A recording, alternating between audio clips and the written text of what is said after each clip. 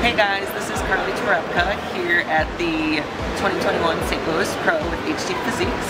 I just won um, first place here at the St. Louis Pro, so I'm heading to the Olympia. Make sure to check out um, new clips and videos up on premiumphysiques.com.